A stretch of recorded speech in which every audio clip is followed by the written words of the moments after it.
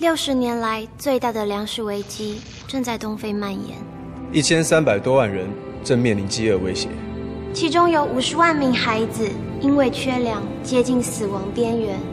气候变迁所带来的粮食危机，将因你的爱心开始平衡。大家一起努力，让饥饿不在。请参加饥饿体验 DIY，二月十一、十二日，饥饿勇士大会师，高雄见。